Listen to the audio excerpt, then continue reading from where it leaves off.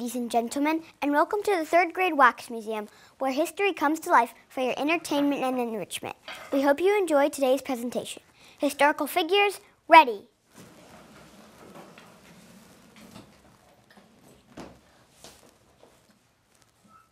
There are many famous heroes in our country's history. You will learn all about them as you come along with me. We will show you the importance of the people you will meet when the Wax Museum comes alive. Historical figures, wax. O flag of our union, to you will be true to your red and white stripes and your stars on the blue. The emblem of freedom, the symbol of right, we children salute you, O flag fair and bright. Please stand, place your hand over your heart for the Pledge of Allegiance.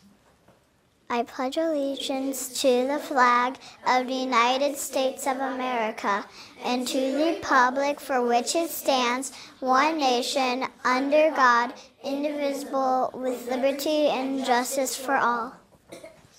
Many years ago, this country was established with the Constitution of America, and it all began with the preamble. The preamble is a list of goals the founding fathers had for our new country, the United States of America.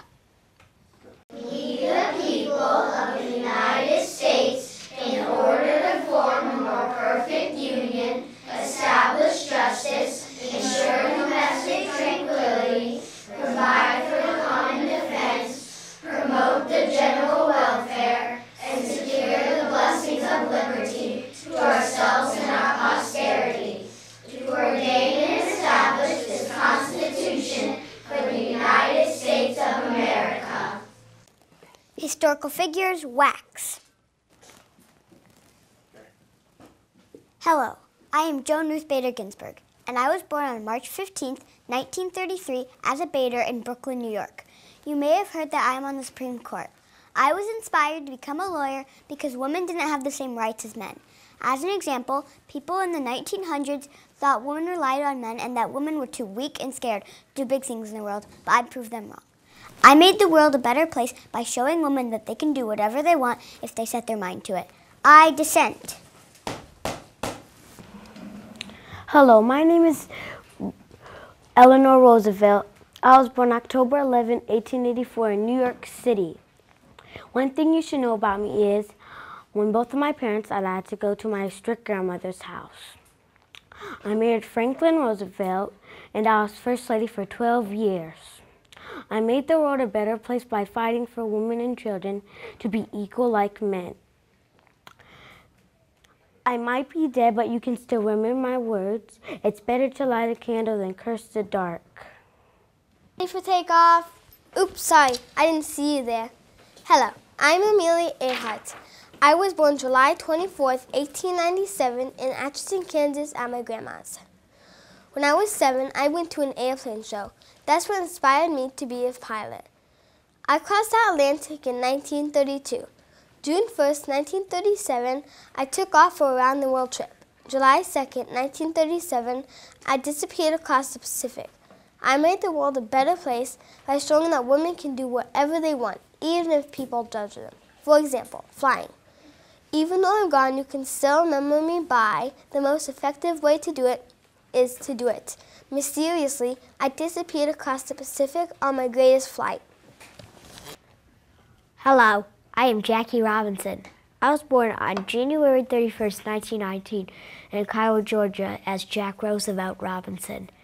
You may have known that my father left me and then we had to move to California because of that. and then in 1945, I joined the Monarchs team to try to play baseball and try to be the first black player. And then next year, I went to the Royals, and then the big step was the Dodgers. Then I made the world a better place by making black people join MLB and breaking the color barrier. But on October 24th, 1972, I died at the age of 53 from a heart attack. but you can still remember me from in, in April 15, 2019 this year. It will be Jackie Robinson Day, and every player gets to wear the, my number. Hello, I am Bethany Hamilton. I'm a surfer born on February 8, 1990, and I live in Kauai, Hawaii. You might have heard that my left arm got bitten off by a tiger shark. I finally got back on my board a month after the attack. I made the world a better place by showing people that instead of being scared, you can be brave and stand up against the odds. I have said I don't think much about it or worry about how I look with one arm. I'm cool being me. Hello, I am Harry Houdini. I was born on March 24, 1874, in Budapest, Hungary. I was a pilot, magician, acrobat, movie star, and a writer. People had challenged me to escape from everything, and I always succeeded. I made the world a better place by showing anything is possible, by flying airplanes and doing all kinds of tricks, including the metamorphosis.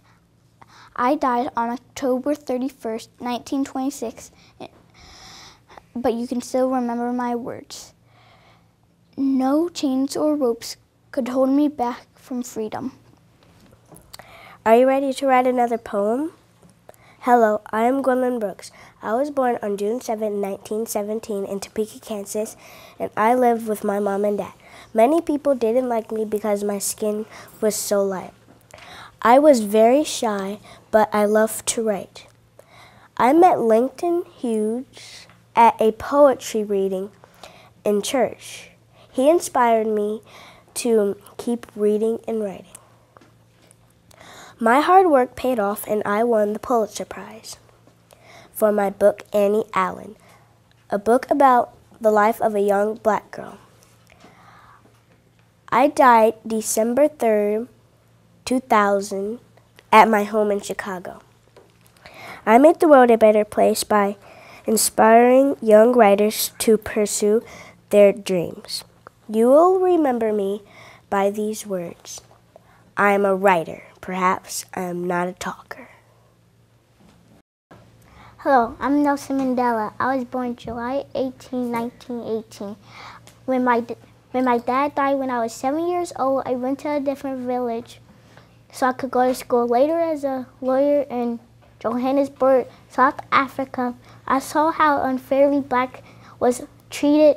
That was called apartheid, and that means whites and blacks apart. I made a better place by standing for, for what I believe, the end of apartheid. I went to prison for 27 years. After I was released, I was elected president of South Africa and made a new constitution, no more apartheid. Hello, I'm Harriet Tubman. I was born in 1821 in Maryland. When, when I was little, I was called Minty. As I grew up, I found a man named Mary John Tubman. I died because of pneumonia. I died on March 10th. I made the world a better place is by helping people lead to freedom on the under, Underground Railroad. Every dream begins with a dreamer. Always remember you have the patience, the passion, and the strength to reach for the stars to change the world. Rosa Parks. I was born February 4th, 1913 and two. Wait, maybe you have all heard about my incident on the bus in Montgomery, Alabama. On December 1st, 1955, me getting arrested from not giving up my seat for a white man. Well, I know you won't blame me when you hear why I refused. I was following the bus rules. I was six, sitting in the black section. When all the white seats were filled, a white man wanted my seat. Well, all I could hear was my grandfather's voice, stand up for what you believe. I was not tired from working all day. I was tired from being treated unfairly. I I made the world a better place because I started the ball rolling on civil rights thanks to my actions and the help of Martin Luther King. Equal rights were on the way for all black people. I'm Helen Keller. I was born on June 27, 1880 in Tuscumbia, Alabama. When I was 19 months, I, I got scarlet fever and was very sick. When I was two years old, When I was two years old, my parents realized I was deaf and blind. When I was seven, Anne Sullivan, my teacher, arrived. She taught me that everything had a name. She even worked with me even throughout college.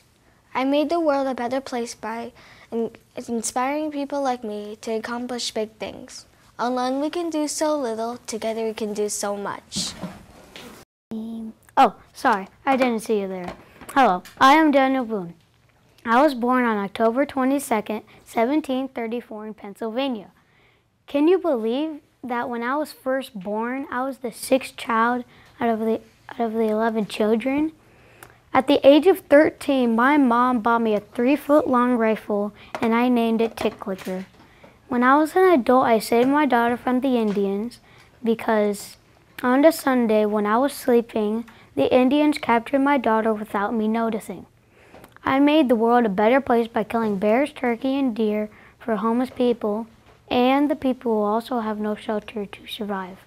I died at the age of 85 in 1820, but you can remember my words after I died.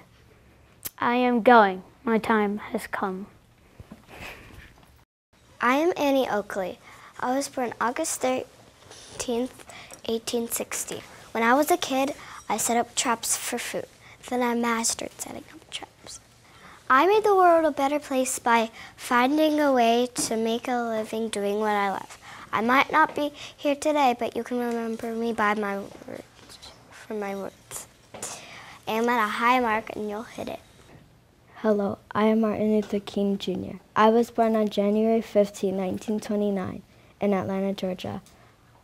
I love to read and do speeches. Two of my teachers were ministers and they inspired, inspired me to become a minister.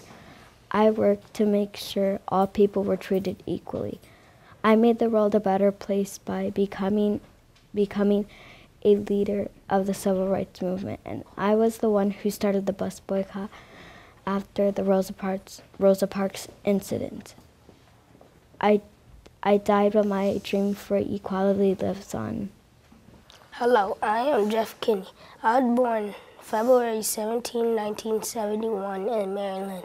I like to read books written from Judy Blume. When I was growing up, I loved to write books. I made the world a better place by writing books, then selling them to schools and libraries so kids could read them. That's how I made the world a better place. It is error alone which needs the support of government. Truth can stand by itself. Hello, I am Thomas Jefferson. I was born on April 2nd in my time, but April 13th today. I was born in Shadwell, Virginia in 1743. I was a super reader. I could read 15 hours straight sometimes. I became president in 1801. I made the world the be- I made the world a better place by writing the Declaration of Independence. It helped the colonies become the U.S. instead of being controlled by Britain. I died on July 4th, 1826, the 50th anniversary of the Declaration of Independence. I am beginning to I am beginning to learn that it is sweet sweet simple things of life that are the real ones after all. Hello. I'm I'm Laura Ingalls and I was born on February 7th, 1867 in a log cabin in Pep, Wisconsin. And you might see me in the movie or TV show Little House on the Prairie in my and you might see my daughter, Laura Rose Ingalls, Ingalls Lane, who is still alive. I made the world a better place by teaching other kids at the age of 15. I was and I was the most famous and I was the most famous famous writer of in my century of children's children's books. I am gone, but my stories live on live on in my in my books. Hello, my name is Theodore Roosevelt. I was born October 27, 1858 in New York City.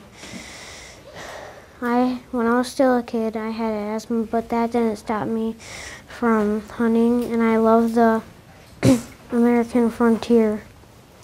Education was important to me. And I went to college at Harvard. Let's hear more about our American heroes in our country from Lily and Dynasty. The American hero always comes through to capture to capture our hearts with spirit so true, so proudly our soldiers who march in harm's way, ensuring our freedom, courageous they stay, while others come forth as civilians so brave, determined in purpose, so steadfast to save. We should always keep clear a place in our heart, for each has a value beyond precious art. Their duty to country will not be surpassed. Please honor their courage, for some it's their last. We live in a world which can be hard to bear. Thank God for their thank God for these people, how greatly they care. Do ponder new heroes and what they will face. And pray for their safety, no matter their place. Our heritage brings out the best we all know. Our, Our great book of heroes is destined to grow.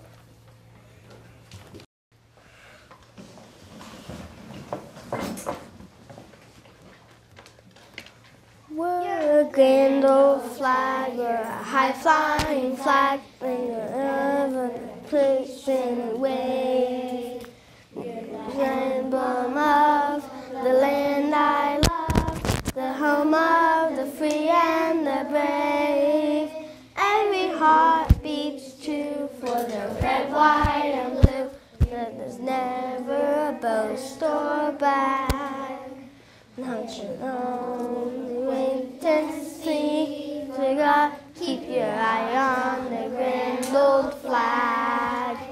Hip, hip, hip, hooray for the red, white, and blue.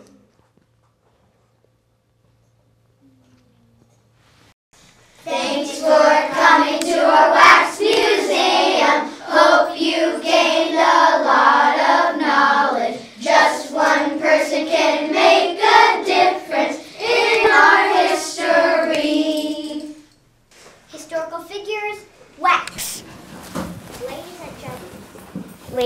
gentlemen, thank you for attending the third grade wax museum. We hope you enjoyed the show. Please feel free to visit each character as they come to life for just a few more minutes.